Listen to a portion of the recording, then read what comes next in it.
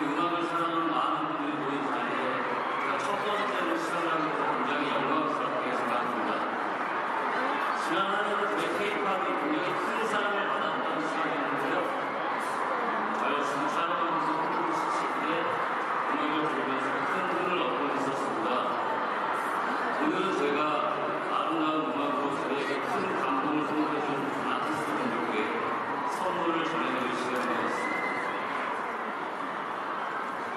제33회 불륜 디스커버즈